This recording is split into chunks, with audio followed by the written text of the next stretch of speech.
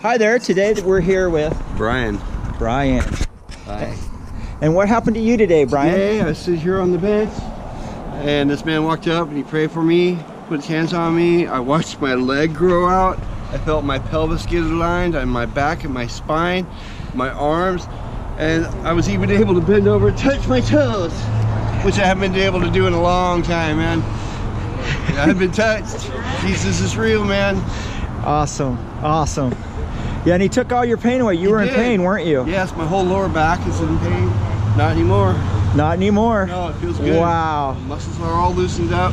Oh, that's awesome. Well, God bless you, Brian. That's because. Jesus loves you. Thank you. Amen.